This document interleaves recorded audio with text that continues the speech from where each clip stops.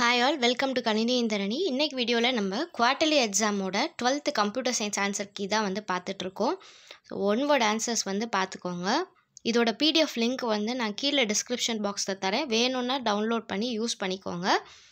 Two மார்க்கில் first question எப்படி find பண்ணும் வேல்யூ அப்படின்னு கேட்டிருந்தாங்க. Second question public sorry private and protected members கேட்டிருந்தாங்க. Third question priori and posteriori testing performance எப்படி எவாலுவேட் பண்ணணும்னு கேட்டிருந்தாங்க.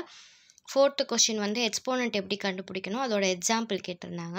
Fifth question if else ஸ்டேட்மெண்ட்டோட syntax sixth question types of function seventh question deleting a string eighth question class instantiation ninth question syntax எழுத சொல்லியிருந்தாங்க triple create பண்ணுறதுக்கு. Three marks பொறுத்த வரைக்கும் first three mark வந்து pure ஃபங்க்ஷனுக்கும் இம்ப்யூர் ஃபங்க்ஷனுக்கும் உள்ள டிஃப்ரென்ஸ் வந்து கேட்டிருந்தாங்க. செகண்ட் த்ரீ மார்க் வந்து காங்க்ரீட் டேட்டா டைப்புக்கும் அப்டாக்ட் டேட்டா டைப்புக்கும் உள்ள டிஃப்ரென்ஸு இந்த டிஃப்ரென்ஸ் ஒரே வார்த்தை இருந்தாலே போதும் மூணு மார்க் கொடுத்துருவாங்க. காங்க்ரீட் டேட்டா டைப்னா ரெப்ரசன்டேஷன் தெரிஞ்சால் காங்க்ரீட் டேட்டா டைப் தெரியலைன்னா அப்டாக்ட் டேட்டா டைப் அடுத்து ஆக்சஸ் கண்ட்ரோல் வந்து கேட்டிருந்தாங்க. Dynamic programming ternary operator ternary operator definition எழுதியிருந்தால் one and half marks கிடைக்கும். அதோட சின்டாக்ஸும் எக்ஸாம்பிளும் எழுதியிருந்தால் மீதி இருக்கிற ஒன் அண்ட் ஆஃப் மார்க்ஸ் வந்து கிடைக்கும்.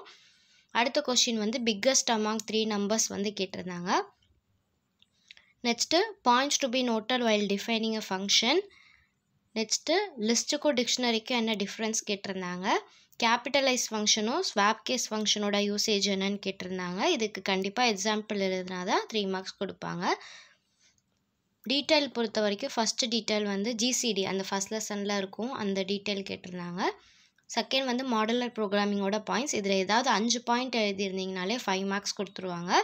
செகண்ட் கொஷின் வந்து டேட்டா அப்ஸ்ட்ராக்ஷன்ஸ் பற்றி கேட்டிருந்தாங்க. இது வந்து கன்ஸ்ட்ரக்டர் பற்றி செலக்டர்ஸ் பற்றி எழுதியிருக்கணும். தேர்ட் டீட்டெயில் வந்து பபிள் சாட் கேட்டிருந்தாங்க. அதுக்கு எக்ஸாம்பிளையும் வந்து சேர்த்து நீங்கள் போட்டு காட்டியிருக்கணும். அப்புறம் script programming script mode programming பற்றி கேட்டிருந்தாங்க. Local scope types of scope கேட்டிருந்தாங்க. இதில் லோக்கல் ஸ்கோப்பும் குளோபல் ஸ்கோப்பும் எழுதுனா போதும். இது செவன்த் லெசனில் இருக்கிற டீட்டெயில். அடுத்து ஃபார் லூப் பற்றி கேட்டிருந்தாங்க. இது எக்ஸாம்பிள் எழுதியிருந்தாலே ஃபார் லூப்புக்கு டூ மார்க்ஸ் கொடுப்பாங்க. ஸ்ட்ரிங் ஆப்ரேட்டர்ஸ் இந்த ஃபைவ் டைப்ஸ் இருக்கும் புக்கில். ஃபைவ் டைப்ஸும் எக்ஸ்பிளைன் பண்ணணும். அப்படி இல்லைன்னா த்ரீ டைப்ஸ் எக்ஸ்பிளைன் பண்ணிங்கனாலே ஃபைவ் மார்க்ஸ் கிடைக்கும். செட் ஆப்ரேஷன் நீட்டாக டயக்ராமோடு போட்டு ப்ரெசென்ட் பண்ணியிருந்தாங்கன்னா ஃபைவ் மார்க்ஸ் கொடுப்பாங்க.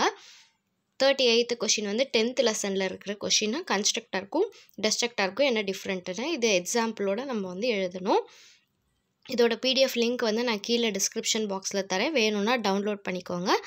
இந்த வீடியோ யூஸ்ஃபுல்லாக இருந்ததுன்னா நிறைய பேருக்கு ஷேர் பண்ணுங்கள்